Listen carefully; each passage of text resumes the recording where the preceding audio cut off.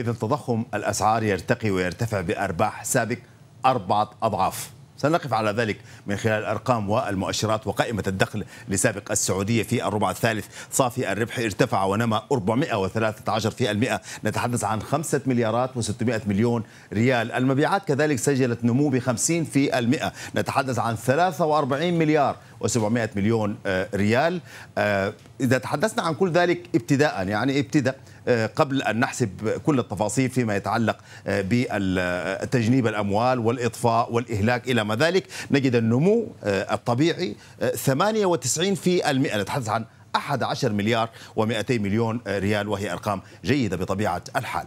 دعونا إذا نتحدث عن قائمة الدخل لسابق في تسعة أشهر.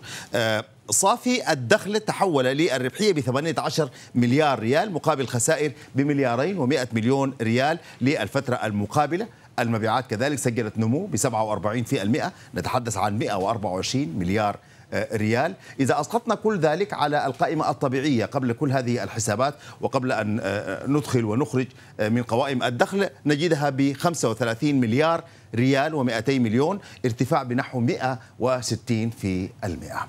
نعرج على جانب آخر بتطور التدفقات النقدية لسابق وأسعار المنتجات التي لعبت دور كبير في إسكاء هذه الأرباح وتحولها للربحية ومضاعفتها بأربع مرات. في تسعة أشهر تحولت من خمسة مليارات ريال إلى ثمانية مليارات ريال. نتحدث عن ارتفاع ب 57 في المئة. النمو السنوي نتحدث ب 236 في المئة إلى خمسة مليارات و300 مليون ريال. لماذا حدث هذا الأداء القوي؟ ارتفاع أسعار المنتجات من الدرجة الأولى لعب الدور المفصلي الأساسي في أن تتحول هذه الشركة وكل قطاع البتروكيماويات إلى الربحية بهذا الشكل.